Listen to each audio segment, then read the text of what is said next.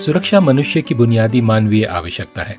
हम इसके लिए तरसते हैं और कई बार हमें इसे पाने के लिए संघर्ष भी करना पड़ता है।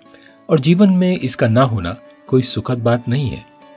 मैं हूँ क्रिस्टोफर सिंह और आज के ताज़ा कार्यक्रम में आपका स्वागत है।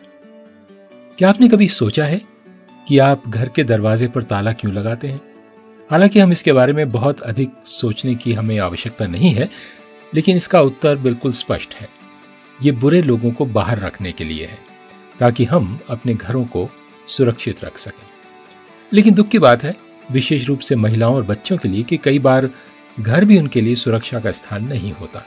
या शायद जो कुछ आपके जीवन में चल रहा है, वो आपके भीतर उथल पुथल और भय का कारण बन जाता है।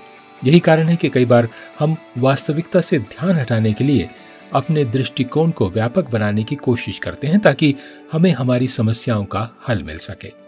धर्मशास्त्र बाइबल में भजन संहिता नब्बे उसके पहले दो वचन में लिखा है, हे स्वामी, तू पीढ़ी से पीढ़ी हमारे लिए आश्रय स्थल बना हुआ है। पर्वतों के उत्पन्न होने से पहले तेरे द्वारा संसार के सृष्टि होने के पूर्व युग युगांत से तू ही परमेश्वर है। जरा ध्यान से देखें।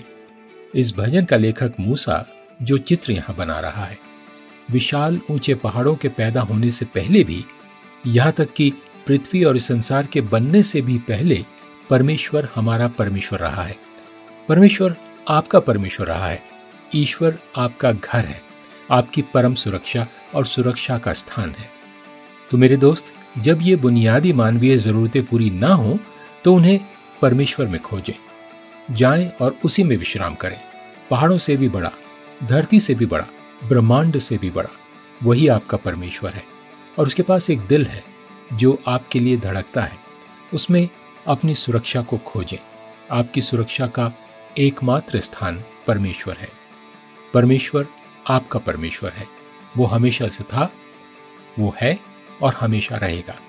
ये उसका ताज़ा वचन है। आज आपके लिए।